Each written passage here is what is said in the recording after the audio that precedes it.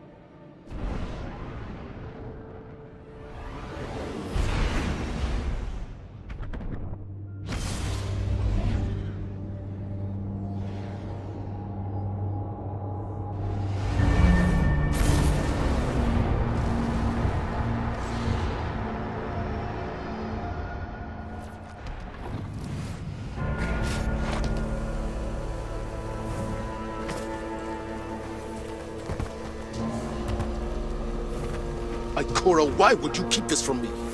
If I had known. I didn't keep anything from you, Zavala. Not intentionally. I couldn't fill you in on every minute detail. When it comes to Savathun, no detail is too small. You know that better than anyone. Which is why I made some judgment calls without you. As you do without me. Not on a matter like this. Ah, Guardian. We can discuss this more later. My point, Ikora, is that we are meant to be a team. You can't rely on your instincts alone. Perhaps I can't rely on them at all. The way this investigation is going. It's clear my judgment has been compromised.